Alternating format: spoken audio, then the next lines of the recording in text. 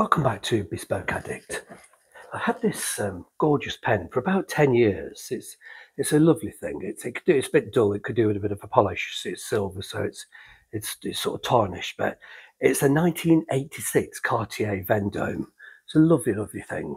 And um, if you push, if you push the end, it, it makes the, um, makes this pop out. It's just a lovely thing. And I've had it about 10 years. I didn't realize when I bought it that it needs a unique cartridge. Let me just pop the uh, pop the head on here, and you flick it open just here, and sure we can. There we go. That's it.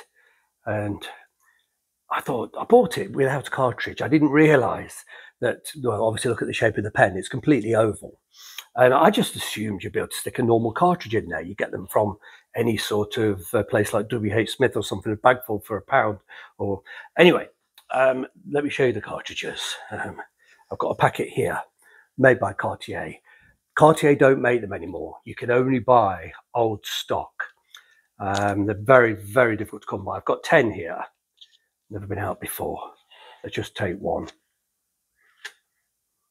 The shape of it, it's, it's flat and it's oval. Um, just printed Cartier on the front. I'm embarrassed to confess I paid £60 for those 10 cartridges. Um, it's a bit of a shocker, I know, but it's, it's, a very, very nice pen, and I've had it for about 10 years. And I rather hoped to find an empty cartridge on eBay for a couple of pounds or something and you know re recharge the the ink with a syringe from a bottle i'd have been happy just to get one but i've ended up you know, I've waited about 10 years to be fair, and it is a glorious pen. Um, it's, it's worth it, but 60 pounds for 10 cartridges. It's just plastic and ink, but they're flat and it's, it's completely unique to this pen that was only made in the 80s. Doesn't fit any other pen.